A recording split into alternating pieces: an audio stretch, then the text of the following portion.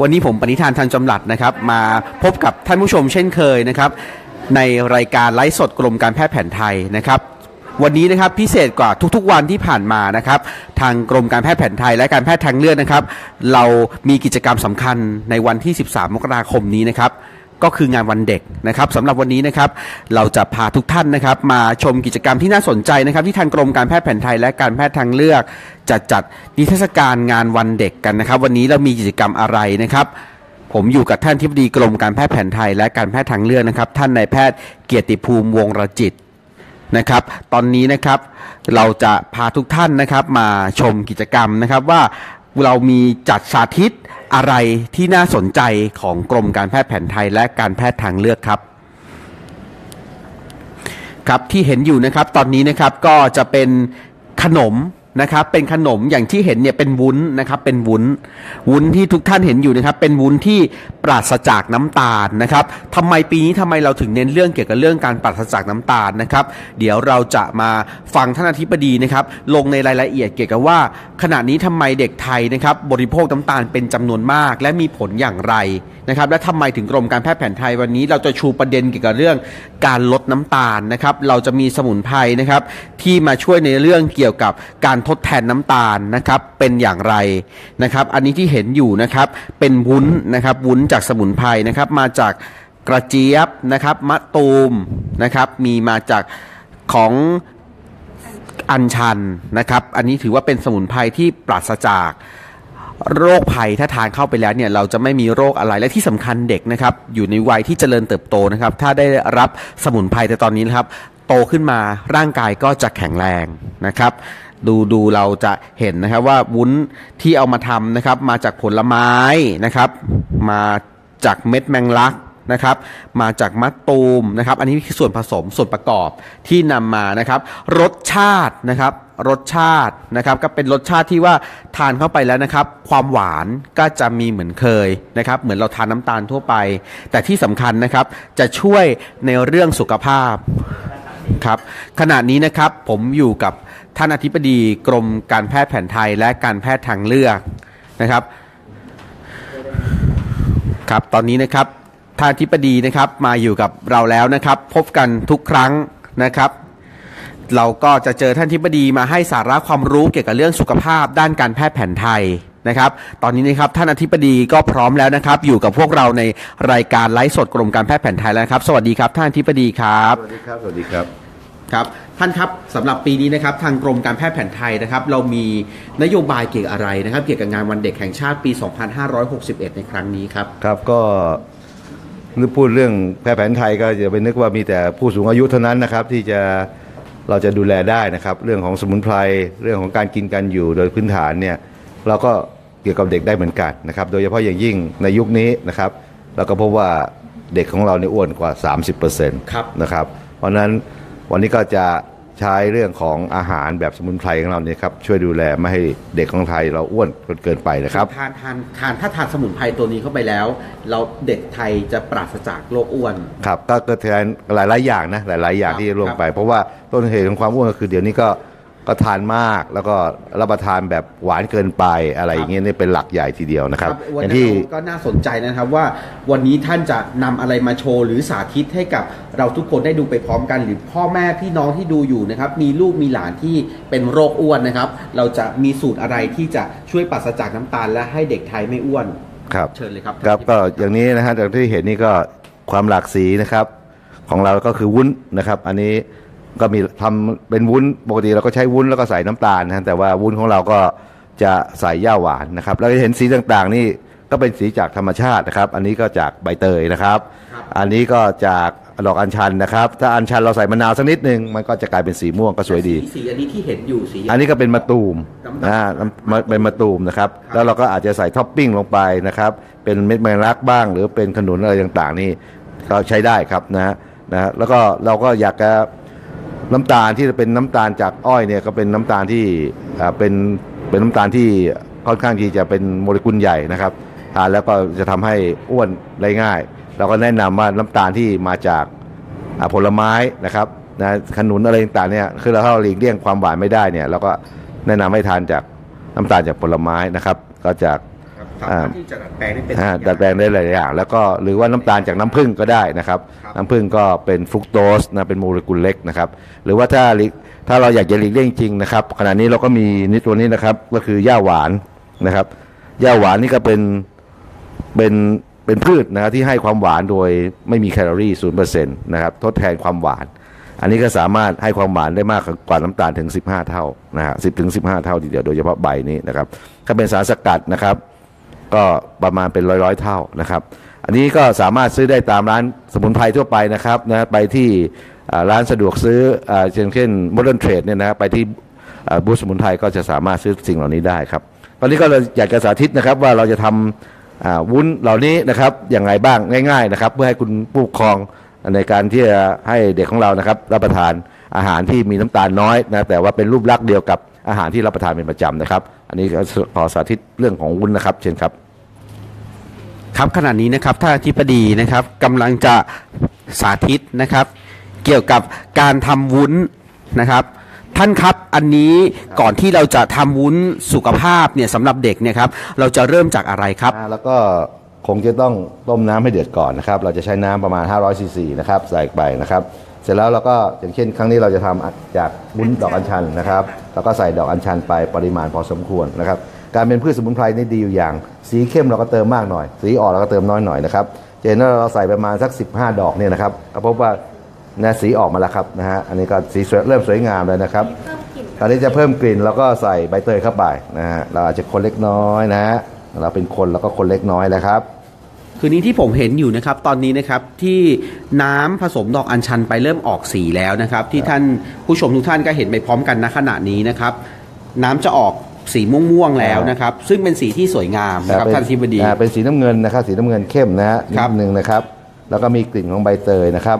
แล้วก็ให้สีเขาจนเราพอใจระดับหนึ่งนะครับนะก็บางคนชอบสีฟ้าอ่อนก็รีบช้อนขึ้นนะครับครับถ้าเราจะ ให้ฟ้าแก่แล้วก็รอไว้อีกนิดนึงนะฮะครับ รอไว้อีกนิดนึงนะฮะรอไว้อีกนิดตอนนี้เริ่มมีกลิ่นหอมแล้วนะมีครับของกลิ่นของใบเตยขนะองครับใบเตยใช่ไหมครับใบเตยนี่นะฮะครับทำง่ายๆนะฮะทำง่ายๆตอนนี้เราคิดว่าฟ้าพอสมควรแล้วนะครับอ่าแล้วก็ช้อนออกนะครับ แล้วก็ช้อนใบเตยออกก่อนครับนะเพราะว่ามีขนาดใหญ่กับเพื่อนนะฮะแล้วเราก็จะช้อนอ่าดอกอัญชันนะฮะหมดหน้าที่ของเธอแล้วดอกอัญชัน ขอบใจมากนะขอบใจมากนะสีสีสวยสีแล้วสวยนะครับงามมากนะครับ สีตอนี่นะอ่าคุณแม่บ้านก็อาจจะนึกถึงสีของนินนะฮะหรือว่าเอ่อบางท่านนะครับนิยมใช้สีผสมอาหารนะครับอันนี้ก็ไม่อครัยาบกแนะนำแล้วนะครับฮะแต่ศาสตร์การแพทย์แผนไทยเราอ่าเน้นจากสีของอันนี้ก็ใส่ย่าหวานย่านะฮะย่าหวานนะฮะเป็นใบย่าหวานนะฮะใบย่าหวาน ก็เช่นเดียวกันเพื่อเพิ่มความย่าหวานอย่างที่ท่านกล่าวเกริ่นในช่วงแรกคือว่าช่วยในเรื่องความหวานนะครับ จะเห็นได้ว่าวันนี้เราจะไม่มีน้ำตาลเลยใช่ไหมครับอืมแล้วก็ต้องใช้เวลานิดหนึ่งนะครับ ในการครับที่จะให้สารที่จะให้ความหวานเนี่ยออกจากใบย่าหวานนะครับนะครับชิมไหมชิมสักนิดหนึ่งนะฮะอ่าแล้วก็ชิมสักนิดหนึ่งว่ามีความหวานพอหรือยังเพราะเป็นอาหารเราก็ต้องชิมนะฮะ อ่าเริ่มดีแล้วครับนะฮะก็ถ้าหวานมากก็ใส่เยอะหน่อยนะหวานน้อยก็เอาประมาณนี้นะครับตอนนี้ก็ชิมแล้วมีความหวานนะครับ พอสมควรนะฮะเพราะก็ไม่อยากให้ติดหวานมากนักนะครับอ่าแล้วก็ช้อนเขาออกอีกแล้ว หมดหน้าที่ของเธออีกแล้วนะย่าหวานเธอก็ไปพักผ่อนละนะ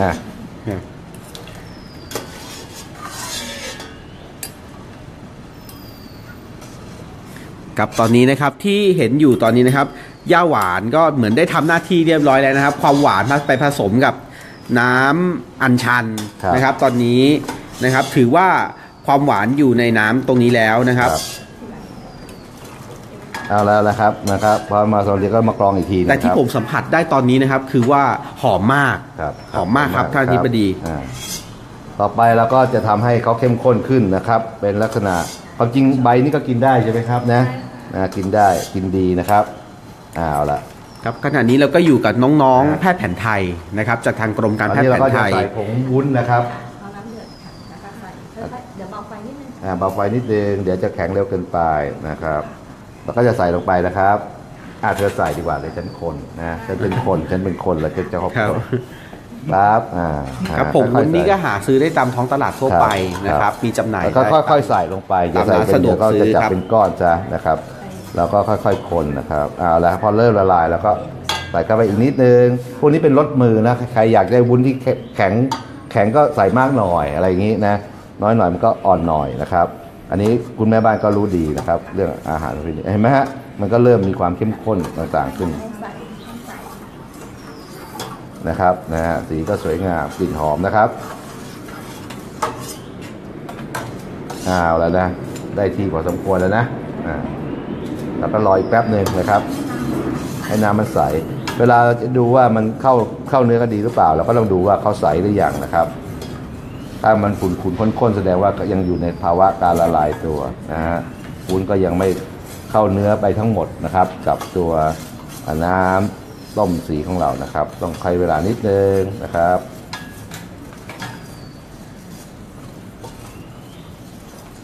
โอ้แต่ว่าสีสวยงามมากนะครับ ครับ ตอนนี้หูน่าทานนะครับ ครับ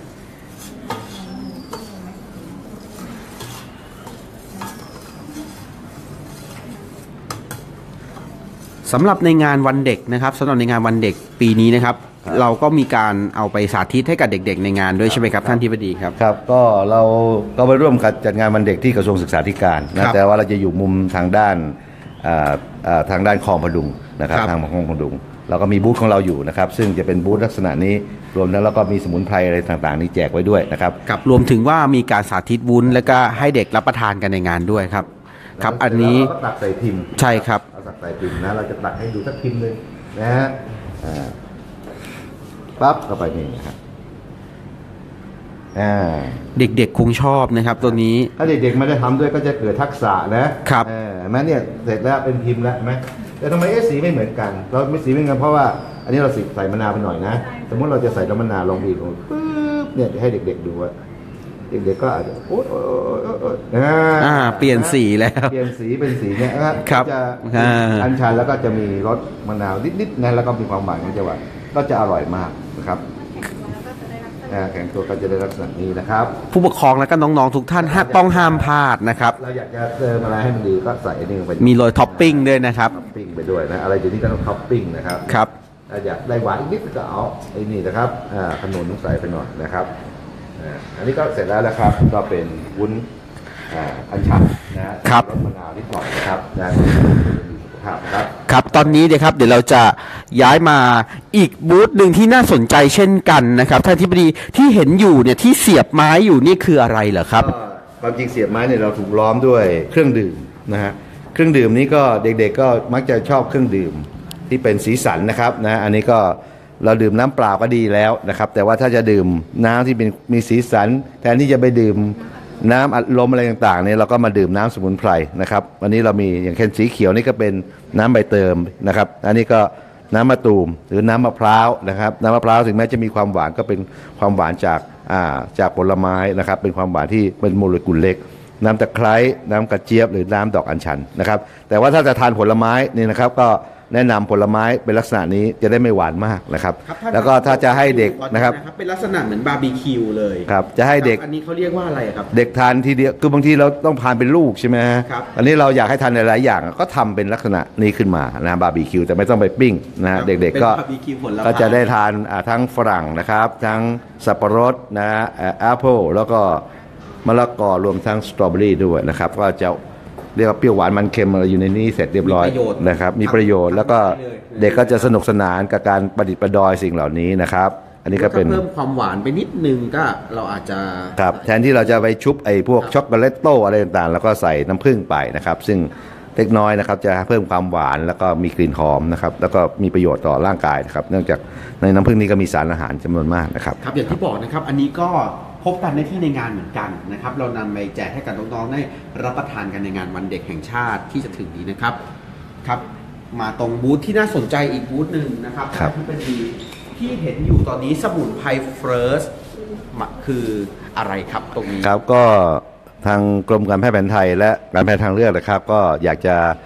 ทำก็เรียกว่าเป็นความรู้เบื้องต้นให้กับประชาชนทั่วไปนะครับ ก็คือแอปพลิเคชันนะครับ เรื่องของสมุนไพร First ซึ่งอันนี้ก็จะเป็นแอปพลิเคชันที่สามารถนั้นท่านสามารถดาวน์โหลดได้ทั้งระบบ iOS และระบบ Android นะครับถ้าจะดาวน์โหลดจาก QR code ที่เห็นอยู่ในถ้าไม่เปิดในพิมพ์คำว่าสมุนไพร First ใน YouTube ดูวิธีการก่อนก็ได้นะครับ แล้วก็สามารถดาวน์โหลดตัวจากตัว QR code หรือว่าท่านจะไปที่ Play Store หรือ App Store นะของในทั้งสองทั้ง Android ทั้ง iOS นะแล้ว พิมพ์คำว่าสมุนไพร First นะไม่ว่าจะเป็นภาษาไทยหรือภาษาอังกฤษก็ตามนะครับ ก็สามารถเราจะจะขึ้นมา แล้วก็สามารถที่จะดาวน์โหลดขึ้นมา ก็จะปรากฏเป็นแอปพลิเคชัน ซึ่งในตัวแอปพลิเคชันนั้นก็จะสามารถให้ท่านดูแลสุขภาพเบื้องต้นนะครับ ด้วยสมุนไพรนะครับ โดยดูจากตัวอาการนะครับ ซึ่ง ก็จะมีอยู่ 2 เมนูครับ เมนูที่ท่านจะดูอ่าจะจะใช้สมุนไพรจากอาการดูแลสุขภาพตัวเองเช่น อาการไข้เบื้องต้น อาการปวดท้อง อาการท้องเสียอะไรเงี้ยท่านก็สามารถกดเข้าไป แล้วก็ก็จะบอกท่านได้ว่า ท่านจะสามารถดูแลสุขภาพนั้นด้วยสมุนไพรสดอะไรได้บ้าง แต่ถ้าท่านมีอาการมากทำไม่ไหวก็ไปซื้อสมุนไพรที่สำเร็จรูปแล้วนะครับ ซึ่งจะบอกแหล่งอาจจะบอกวิธีรับประทานนะครับอ่าแล้วก็วิธีใช้ต่างๆ รวมทั้ง แหล่งที่ท่านจะสามารถไปซื้อได้นะจากตามร้านขายยาที่อยู่ใกล้เคียงนะครับ ซึ่งแอปนี้ก็มีประโยชน์มากนะครับใช่ครับพ่อแม่ที่จะพาลูกหลานนะครับไปร้านขายยาก็โหลดได้เลยนะครับ เราไปให้บริการเช่นกัน และที่สำคัญนะครับวันนั้นนะครับเราจะมีหนังสือสมุนไพรครับดีๆมาแจกด้วยใช่ไหมครับท่านแล้วก็อยากจะให้มีสมุนไพรเอ่อประจำเขาเรียกว่าประจำบ้านหรือประจำโรงเรียนเนี่ยก็มีสักสิบตัวนะครับสิบชนิดด้วยกัน ซึ่ง ก็จะเป็นสมุนไพรที่เอาไว้ใช้ดูแลสุขภาพเช่นเดียวกันนะครับอันซึ่งนี้แจกฟรีแจกฟรีในงานเลยนะครับ ให้กับผู้ปกครองและเด็กนะครับ ก็คงจะมีสมุนไพรที่หาง่ายๆนะครับ แต่ว่ามีประโยชครับน์ก็เช่นใบชะพลูนะครับครับพังพันช่างนะครับหรือเศษพังพรตัวนี้ก็เป็นตัวอย่างนะครับอย่างปลาไทรโจนะครับมีเอ่อ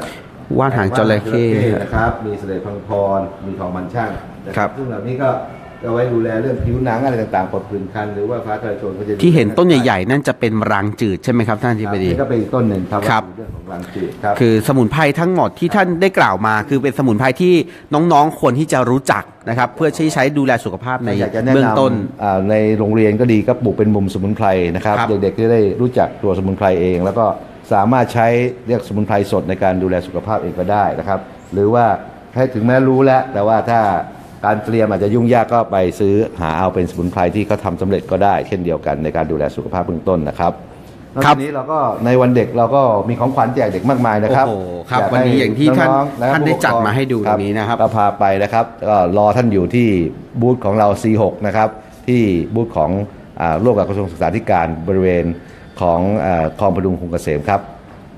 ครับสำหรับรายการไลฟ์สดกรมการแพทย์แผนไทยและการแพทย์ทางเลือกนะครับ วันนี้นะครับมาอยู่กันช่วงสุดท้ายแล้วนะครับ ผมกับท่านทิบดีเกียรติภูมิวงรจิตนะครับ ท่านทิบดีกรมการแพทย์แผนไทยและการแพทย์ทางเลือกนะครับ ก็นำสิ่งดีๆมาฝากนะครับในงานวันเด็ก 13 มกราคม 2561 นี้นะครับที่ กระทรวงศึกษาธิการของเรียบคลองพดุงกรุงเกษมนะครับขอเชิญชวนผู้ปกครองนะครับและก็เด็กๆทุกคนไปร่วมกันในงานได้นะครับท่านจะพบกับสิ่งต่างๆ ที่น่าสนใจอย่างที่ท่านนทีวีได้กล่าวมาในเบื้องต้นแล้วนะครับสำหรับวันนี้นะครับผมกับอธิบดีต้องขอลา ผู้ชมรายการไปก่อนนะครับและเรากลับมาพบกันใหม่กับสาระดีๆ จากรายการไลฟ์สดกรมการแพทย์แผนไทยได้ในโอกาสต่อไปครับสำหรับวันนี้นะครับผมปณิธานจำนำหลัดนะครับผู้ดำเนินรายการต้องขอลาผู้ชมทุกท่านนะครับ สวัสดีครับ สวัสดีครับ